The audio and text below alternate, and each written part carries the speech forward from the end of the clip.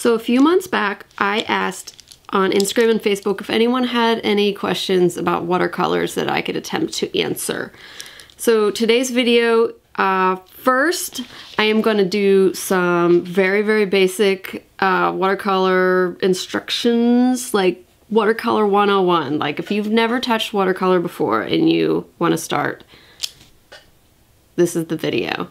Because um, I've had a lot of people just ask me simply where to start or like, do you add water to watercolors? So, I mean, I get it. If you've never used watercolors in your entire life, those are good questions. And after the basic uh, instructions that I'm gonna do, I will answer the questions that I got and hopefully it'll help you out. So yeah, let's get started. Okay, so first things first, there are two different kinds of watercolor. There's the kind that comes in the uh, cakes. These are dry and you have to add water to them to activate them. And you know, this is kind you've probably used because that's the way they come, uh, you know, like in the little Crayola kits or what you use in, in school usually. This is what I typically use because it is portable. It's easy, you know, for on the go. That's just what I stick to. Now, you can uh, also get this kind that is in tubes. It's basically the same thing, only it's already wet. It just takes a little less effort. A lot of, you know, the more professional watercolorists use this. I do like them, but I'm used to using the cake, so that's what I stick to all the time. Second, brushes. There's definitely a difference, the different, depending on what brushes you use. If you have like a little kid kit, you're gonna get this brush that's like straw. And it's just not, get rid of it. Um, now, there are brushes that are better for acrylics and oil. They are normally stiffer or, you know, um, like you can go like this and it bounces back real quick. These are better for acrylic and oil, I would say, because acrylic and oil are um, heavy body, I guess. Watercolors, watercolor is basically the consistency of water or a little bit thicker. Acrylic and oil, you need a brush with a little more stiffness to like really push the around. So what you're looking for is something that's very soft and it can hold a lot of water. So yeah, this is a really, really nice watercolor brush. I love it so much. When you load it with water, it just, it holds the water all the way in and then the, the end goes to a fine point. I just dipped it in water here so you could see. So not only could you make broad washes with this by just pressing hard, you can do more um, detail if you just use the very end. yeah. So yeah, I definitely would recommend getting something more geared towards watercolors because it will make a difference. I mean, it doesn't have to be expensive just go to Michael's and look under the section for watercolors because you know all the all the brushes are labeled. Some of them say they're good for watercolor, acrylic, and oil. If you're gonna stick to watercolor, I would definitely go towards just getting a watercolor brush. Now paper. A lot of people will come to me and be like, how do you get the paper from not buckling? And here I see that they're using printer paper. I'm talking like Xerox machine paper. As you can see, I use, I did some watercolor on this and it's all warped. When it was wet, you could just probably push right through it, like rip right through it. It's just not, it doesn't absorb it correctly. The colors don't look right on it. So I think, once again, I don't think you have to get the most expensive paper especially to practice. But I would not recommend even practicing on printer paper. What I would recommend, as I've recommended a million times, for practice and just starting out, get a Canson mixed media sketchbook or a Canson watercolor sketchbook. The mixed media sketchbooks in America are very affordable. Just get a coupon from a Michael's coupon for 40% off and get one of these. And so you will be able to practice freely and not feel bad about using this super expensive paper. Now, when you really have gotten through that stage and you want to practice on something better, you still don't have to get the most expensive paper, but this is an affordable watercolor paper, Strathmore once again, get a coupon and use it and get it for a decent price at Michael's. This one in particular comes in a block. It's stuck down on every side. I don't know the correct terminology for that, but um, it's like the top of a tablet how you tear it off, only it's on all sides. So whenever you're done with this, you have to get like a, a razor blade and kind of separate it.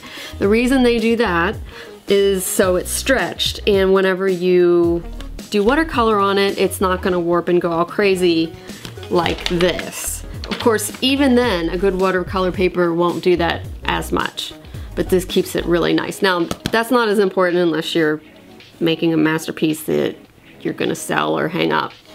So you don't have to get the kind that's stuck down on all four sides. But I do, I do recommend eventually getting some watercolor paper to play with because it is very, it's very good.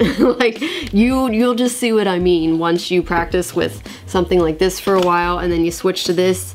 It'll blend easier. It just takes the water so much nicer and you the colors will show up better. And it's it's just definitely worth it. So start with this for the practice. Um, I am going to be putting exercises on my Patreon very soon that will help you get to know your watercolors. So while you're doing the exercises, I would recommend getting something like this. Okay, so when you are using one of these types, like the cake ones, here I'll show you another example. They usually come with some sort of surface to mix on.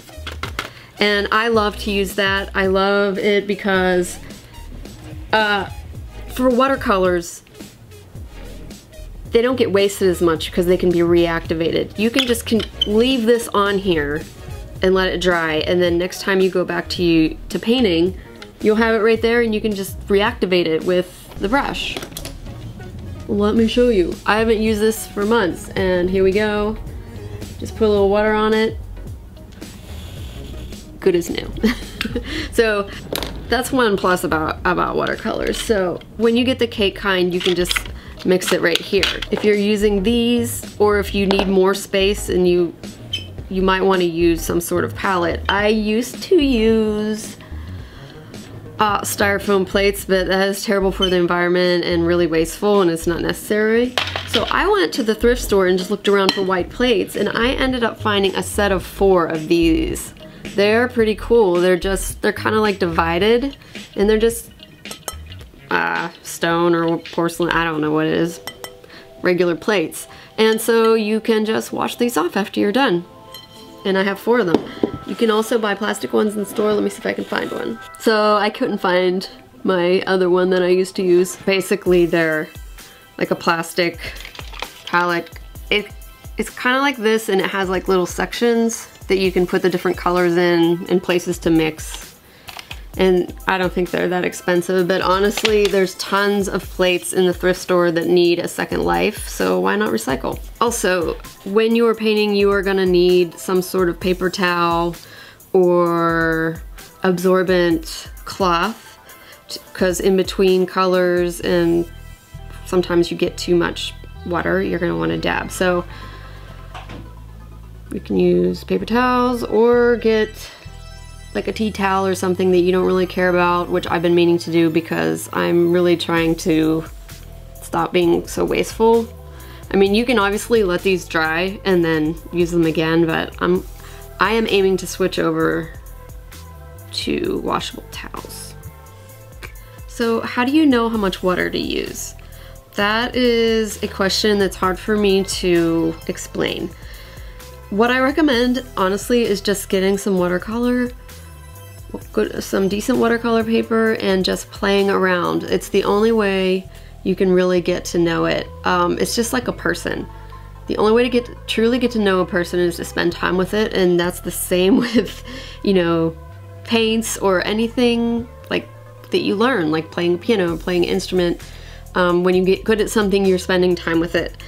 So don't be afraid to just play with it. Just experiment, use different amounts of water, different amounts of paint, and just see how they blend. Especially when you're practicing and just playing, there's no accidents. There's no accidents anyway, okay? Bob Ross knew what he was talking about. Only happy accidents. Okay, so let's go on to some questions. My friend Linda asked how to even begin. And that goes back to what I was just talking about you just have to be ready with paints, paper, and a brush and just start. Don't be afraid that you're gonna screw up. Don't be afraid of what other people are gonna think.